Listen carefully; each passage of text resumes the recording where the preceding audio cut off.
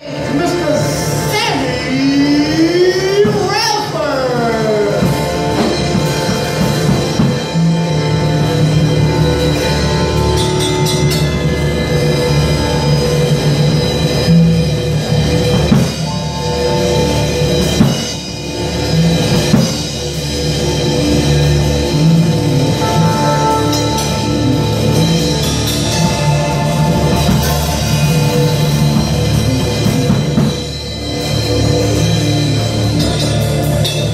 Y'all ain't ready, man. Do y'all realize what's about to happen in here tonight? It's just a few of y'all tonight. But this is the most amazing entertainer to ever hit Houston, Texas. He's the only African American entertainer to have a club in downtown Houston.